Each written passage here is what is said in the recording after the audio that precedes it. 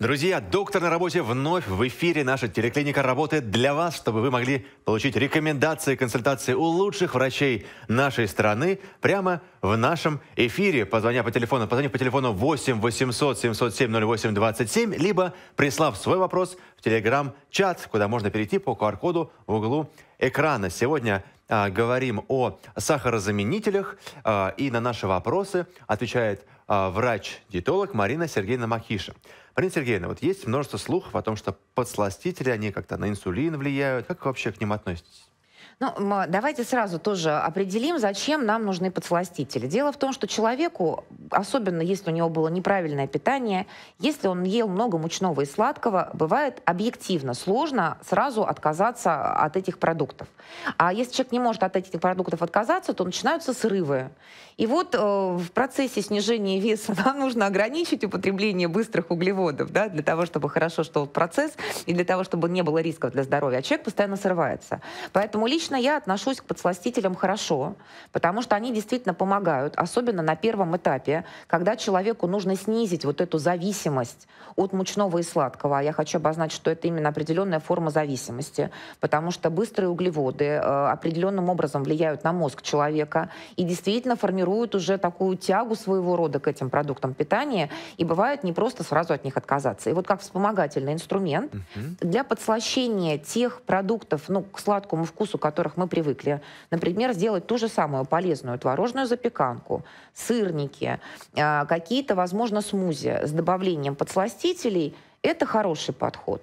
Если вдруг вот возникает ситуация, что очень хочется сладкого, то, конечно, лучше выбрать какой-то десерт с подсластителем, э, чем э, непосредственно уже обычную сладость. Да? То есть это, мы относимся это, к этому именно как к вспомогательному инструменту. инструмент да. полезный, которым нужно Да, но тоже, здесь тоже должна быть мера, о которой мы предупреждали, что любое чрезмерное употребление каких-то продуктов может нести для себя негативные последствия для здоровья, даже если этот продукт изначально очень хороший. Угу. Да, поэтому вот э, да, здесь здесь доза определяет э, самое главное. Да, лекарство или яд, все зависит от дозы.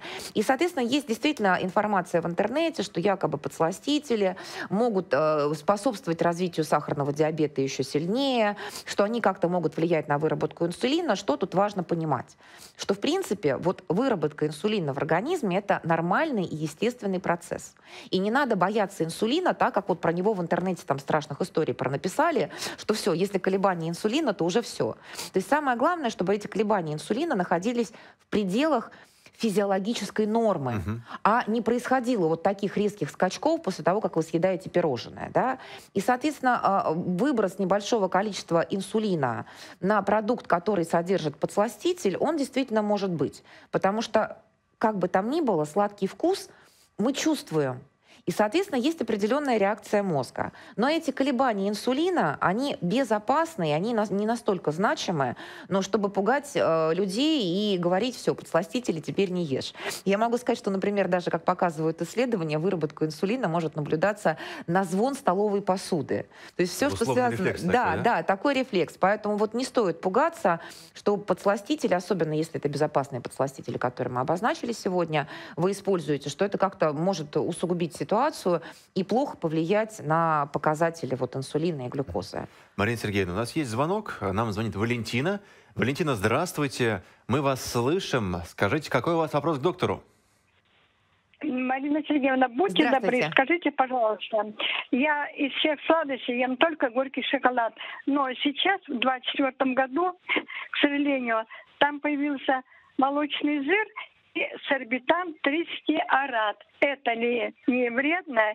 Ну и вот три подушечки ем. И подозрение, не то что подозрение, сомнение. Жиров 6,6 грамм в трех подушечках, НЖК 4,1 ну и сахара 7,3. Но, и, значит, это пишут горький шоколад, а какао 55%. Как относиться? Вот смотрите, так как вы рассказали, очень приятно слышать, что вы следите за своим питанием и знаете даже, сколько ваших трех кусочков дольках шоколада содержится э, сахара и жиров. Будьте спокойны, в том количестве, в котором вы едите, это абсолютно безопасно. Тем более там в составе уже прозвучал как раз э, безопасный подсластитель, и молочный жир уже тоже реабилитирован. То есть в, в умеренном количестве он полезен для нашего здоровья. Здесь самое главное, и вот за что мне хочется очень ваш, вас похвалить, потому что когда я это слышу, меня, это действительно вызывает радость. Это то, что вы посчитали там 3-4 дольки и на этом остановились. Проблема, когда человек не может остановиться на трех дольках и съедает целую плитку. Поэтому вот в том количестве, в котором вы употребляете, может быть, быть абсолютно спокойно, это нормально. Ничего э, там вот вредного и нехорошего в этом шоколаде не содержится. И доза абсолютно умеренная для того, чтобы вы не переживали за показатели сахара инсулина. Да, Валентина, спасибо за звонок. Не переживайте, вы молодец. У нас есть еще один звонок. Байкал, здравствуйте. Вы в эфире. Какой у вас вопрос к доктору? А, здравствуйте. Скажите, здравствуйте. Вот, э, а, здравствуйте.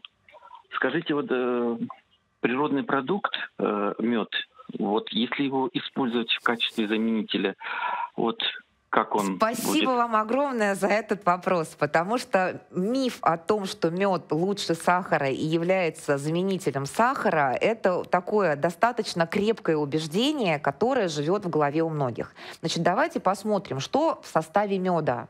Мед на 80-85% состоит из быстрых углеводов, фруктозы и глюкозы. Фруктоза и глюкоза — это моносахара. То есть, да, если мы с вами представим молекулу сахара, то это дисахарид.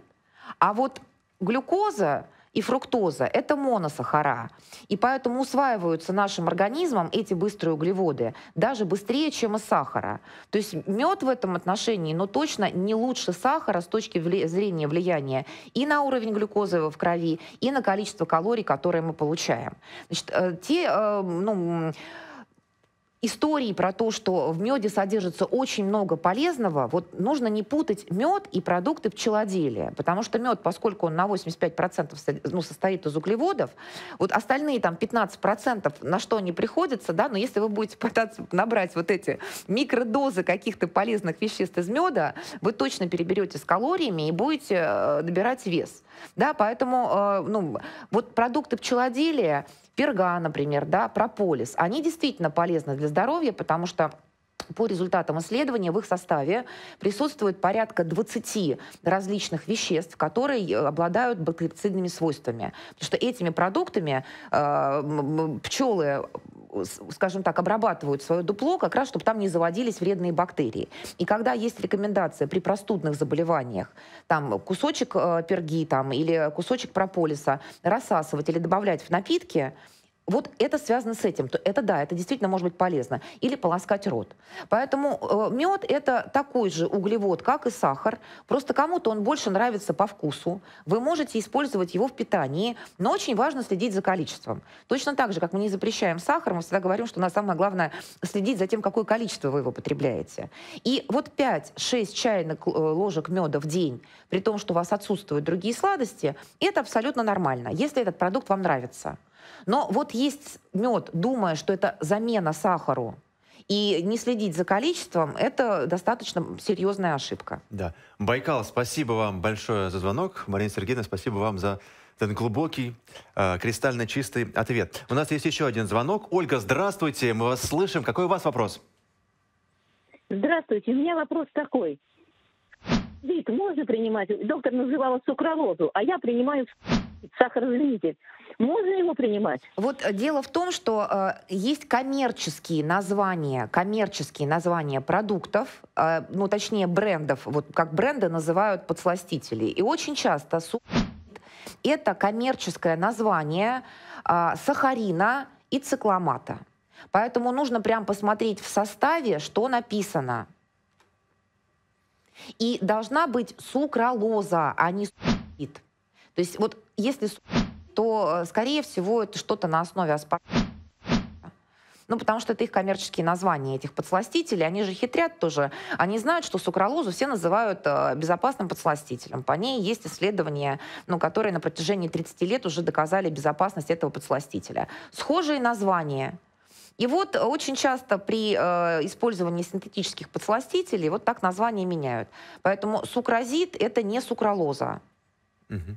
Ольга, мы ответили на ваш вопрос? Ищите, да, вот, что понятно, сукралоза должна понятно. быть. А, да, это бывает обычно, ну, или э, ставе или цикламат. Это коммерческое название. Да, спасибо вам за ваше обращение. У нас есть еще один звонок. А, Зинаида, здравствуйте, вы в эфире. Какой у вас вопрос к врачу?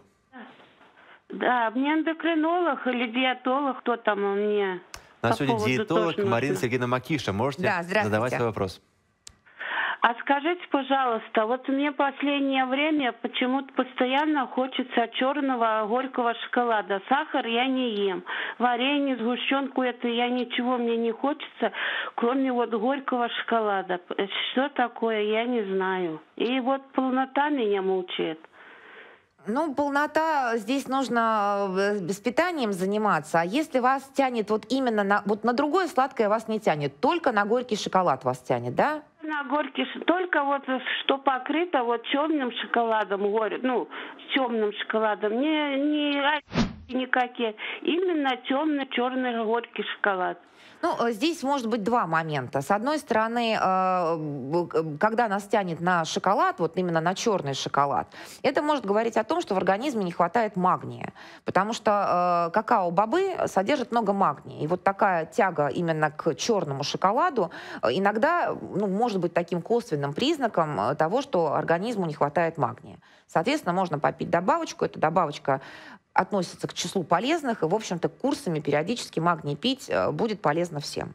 Вот. И, соответственно, второй э, вариант – это то, что э, с возрастом меняются вкусовые рецепторы. Наши вкусовые рецепторы, они тоже с возрастом немножко атрофируются, и э, поэтому возникает тяга к продуктам с более ярким вкусом. Да? Вот горький шоколад, он все-таки... Вот дети его не любят, потому что дети не любят яркие, интенсивные вкусы.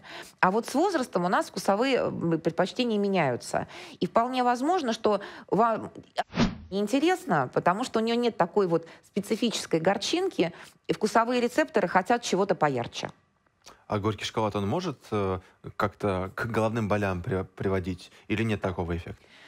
Ну вот две-три дольки э, черного шоколада горького точно головной боли не приведут. Э, не, не в этом проблема. А вот если вы, э, например, ну, очень много пьете какао, то мы напоминаем, что какао, в общем-то, это тонизирующий напиток, и в его составе содержатся те вещества, которые в том числе могут повышать давление.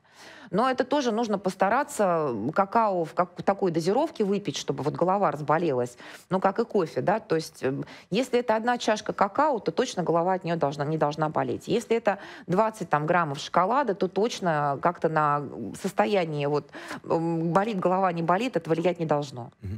Зинаида, мы ответили на ваш вопрос? Да то ничего, иногда прям кушаешь и постоянно что-то сосет и сосет. Но у меня есть диабет второго типа. Ну, диабет второго типа, вам тогда тем более нужно продукты сахаросодержащие в своем рационе контролировать. Следите за этим. Контролирую, потому что я таб... пью таблетки один раз в день. Ну вот, пор.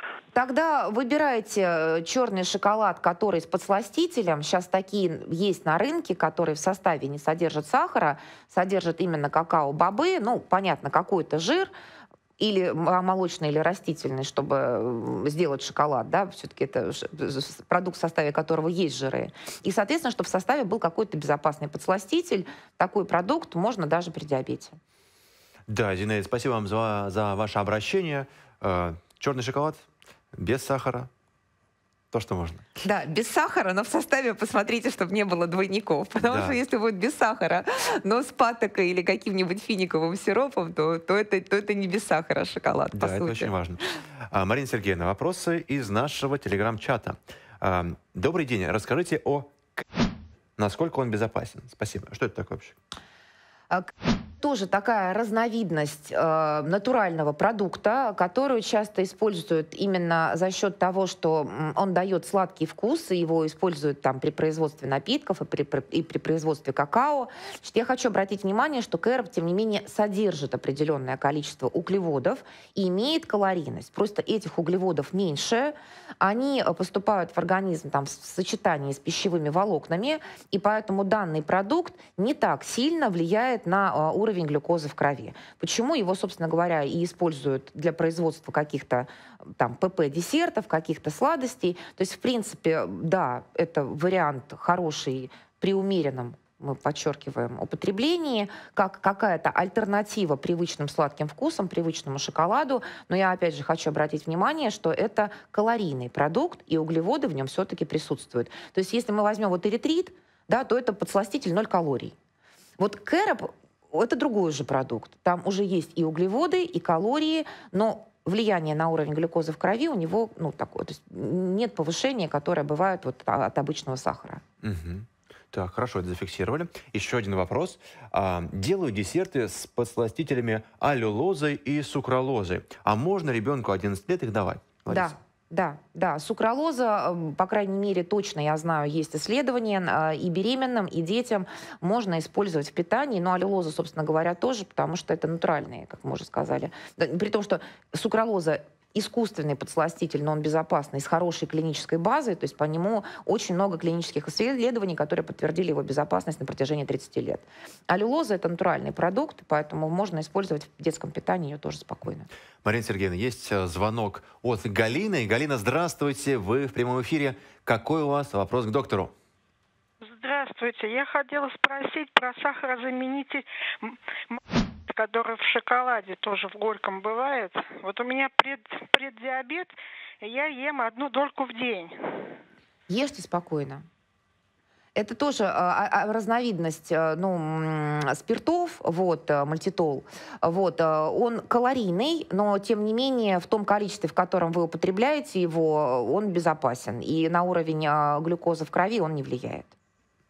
Да, спасибо вам за обращение, Галина, и мы уже готовы ответить на вопрос Анны Андреевны. Анна Андреевна, здравствуйте, мы вас слышим. Какой у вас вопрос? Алло. Да, здравствуйте. Анна Андреевна, здравствуйте. Пожалуйста, выключите телевизор и разговаривайте а, с нами по да, телефону. Да. Какой вопрос у вас? Да я хотела спросить у доктора, как в домашних условиях проверять сахар. Там натощак, через два часа, еще как. Угу. А, уточните, пожалуйста, с какой целью а, вы проверяете сахар и чем вы пользуетесь? То есть каким образом вы проверяете сахар? Ну, у меня есть прибор, который сахар. Так. Так. Вы с какой целью это делаете? У вас заболевание есть какое-то? Нет, я просто проверяю сама периодически. Ну тогда самое главное, проверяйте э, сахар утром натощак. Это самое главное, да? Да, это самое главное. Но я хочу вас предупредить о том, что ну, наличие домашнего глюкометра не отменяет хотя бы раз в год сдачи анализов на глюкозу в лаборатории. Потому что, к сожалению, все-таки домашние глюкометры ну, не являются такими вот настолько стопроцентно надежными, чтобы мы могли прямо вот на, на них только ориентироваться. То есть это хороший инструмент для динамического наблюдения, но диагноз сахарный диабет, например, никто никогда не поставит по показателям домашнего глюкометра. То есть если вы придете, например, к доктору и скажете, у меня вот по домашнему глюкометру сахар повышенный э, натощак с утра, вас все равно доктор отправит сдавать анализы в лабораторию, потому что это такое вот первое приближение. То есть это хороший инструмент, особенно для людей, у которых есть сахарный диабет, для контроля своей динамики показателей. Вот поэтому то, что вы следите за показателем сахара, это хорошо. Вот, но все-таки сдавать хотя бы раз в год в лаборатории этот анализ я бы вам рекомендовала.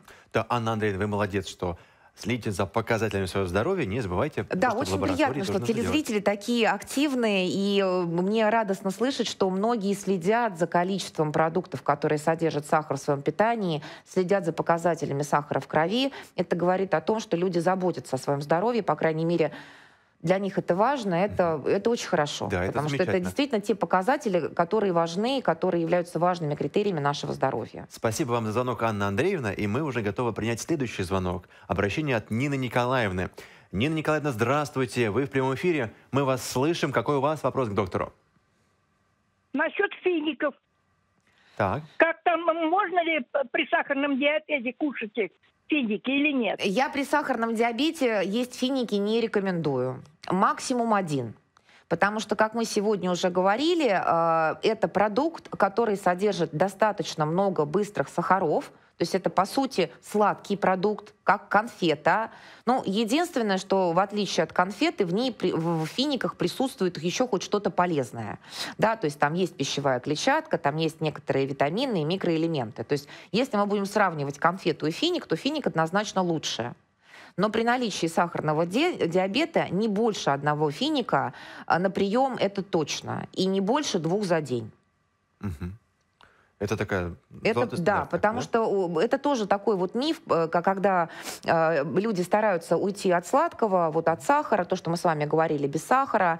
Вот посмотрите, что в составе. Финиковый сироп и финиковая угу. паста. Да. А что это такое? Это быстрый углевод. Да. Нина Николаевна, пожалуйста, аккуратнее.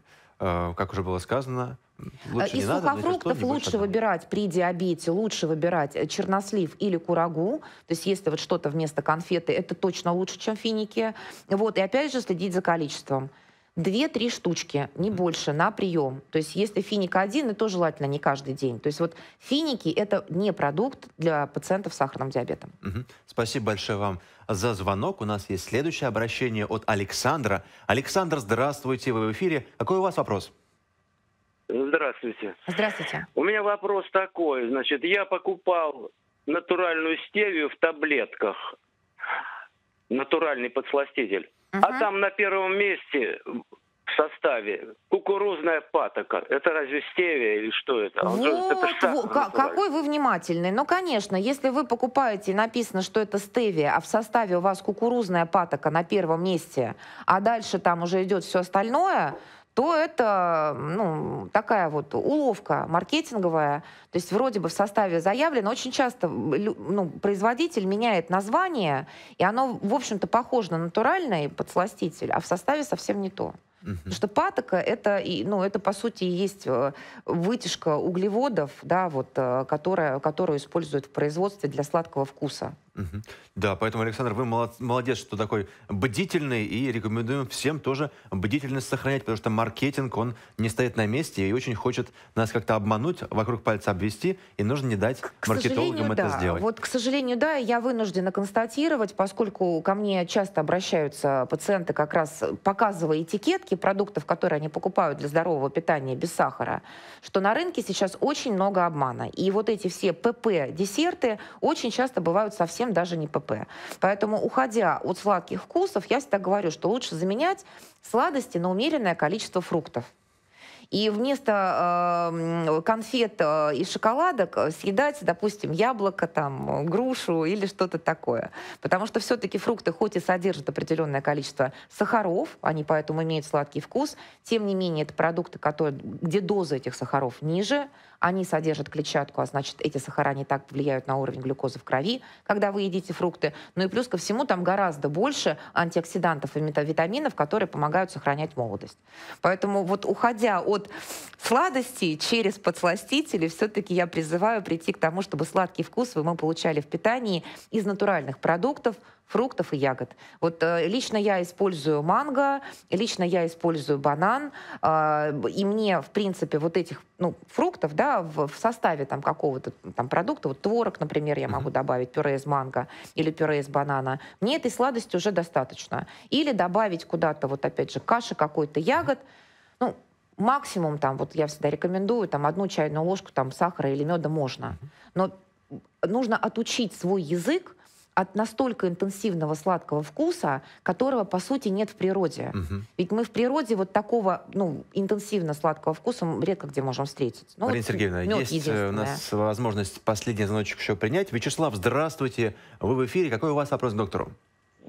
Здравствуйте, дорогой ведущий доктор. Хотела вас спросить, вы частично немножко затронули в отношении бананов. Значит, если преддиабет, есть бананы желтые, есть бананы зеленые, пожалуйста, скажите, и в каком количестве все-таки можно или лучше не Можно, не, не можно зеленый банан, а, половинка на прием.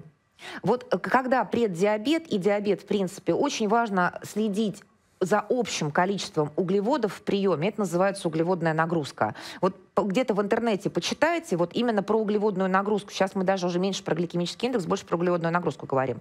И поэтому вот если у вас в приеме не было каши, не было хлеба, то есть не, не было какого-то картофеля, не было других углеводов, то абсолютно спокойно половинку банана вы себе добавить можете. Угу. А зеленые бананы, они калорийные вообще или нет? Ну, среднее, вот, э, чтобы не запутывать э, людей, да, один банан 100 килокалорий. Ну, разница между зеленым там и суперзрелым, ну, она будет несущественная, так, чтобы мы вот голову себе лишний раз ну, не заморачивали этой информацией. Да, так, в общем-то, по, по тем крахмалам, вернее, по тем углеводам, которые содержатся в составе банана, они будут немного отличаться. Вот поэтому зеленый, он, конечно, не такой сладкий, обратите внимание, да, все-таки такой зрелый банан, он интенсивно сладкого вкуса. Это как раз зависит от того, что в процессе созревания вот углеводы в составе, они меняют свою форму и, соответственно, становятся ну, такими mm-hmm. более крахмалистыми, более сладкими. Марина Сергеевна, спасибо вам большое за этот час, который мы провели вместе отвечали на вопросы наших телезрителей. Э, многое прояснили, много еще проясним в будущих эфирах. Спасибо вам. Спасибо вам, друзья, за ваши вопросы и обращения по телефону. И не забывайте, что мы здесь для того, чтобы помочь вам заботиться о своем здоровье. Меня зовут Алексей Чарский. До встречи.